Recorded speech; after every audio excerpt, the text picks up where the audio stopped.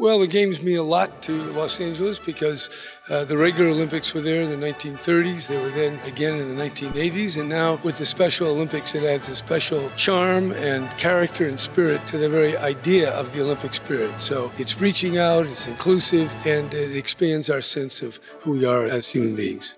Well, I think these Special Olympics originated in the United States uh, with uh, Eunice Kennedy Shriver, but now it's spread worldwide. And I think it's just a great testament to attention we need to pay to those who are less privileged and give them an opportunity to excel and grow, which is demonstrated here by this tremendous enthusiasm of these young Italians as they embark on this journey to Los Angeles and participate in the Games.